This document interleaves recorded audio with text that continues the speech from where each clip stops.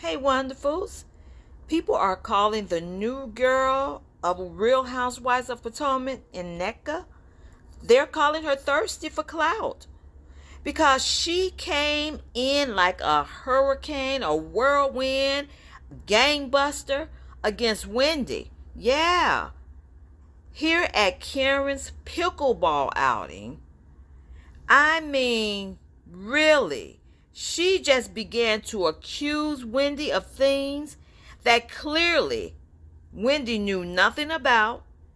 She's telling them what she alleges Wendy's mother did concerning praying against her family. And when she called Wendy the B word, then I knew that this woman was thirsty because clearly that was so unnecessary. I mean, if you wanted to keep the conversation moving forward and to get to some clarity, you didn't have to call her name because Wendy, after that, she really got upset and she's like, I can't believe she just called me that when I did nothing but try to befriend this lady. Yeah, the conversation was going. You could have gotten your point across. We could have all heard and maybe gotten to the bottom of this concerning what you thought Wendy's mother did and what you heard she did. But then you go for the juggler and call her a name. And of course, that just ended the conversation right there. Wendy hops up and shoots. She say, huh, she'd rather be friends with Mia. And she pulled Mia away from the table. But that was so unnecessary and uncalled for to call her that name.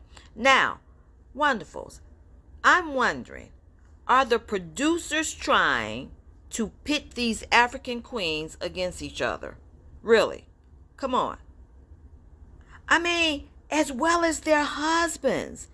Because look here, in this next picture, Nneka's husband and Eddie are now arguing over who unfollowed who on social media. I mean, really. I could not, I said, where did this come from? This just seems to have come out of left field.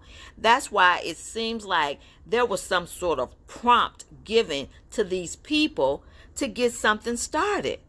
It is clearly so ridiculous. What's going on, producers? You all got to do better than this. There is a way to bring the drama without having these particular people go after each other like that clamming against each other. That's that's come on now. What's really going on? Talk to you later wonderfuls